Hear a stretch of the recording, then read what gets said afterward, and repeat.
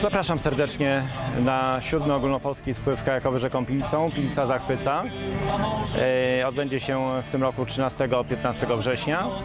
13 e, jest e, planowana w bonusie Luc- Luciąża, spływ rzeką Luciążą.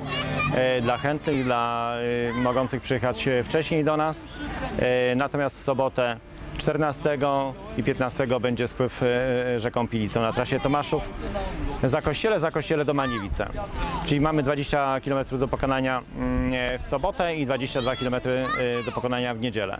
Przed e, spływem, przed trasą regularnego przepływu e, w sobotę będzie odbywał się cross kajakowy na trasie Smardzewice-Tomaszów. O nagrody, puchary, medale, pamiątki.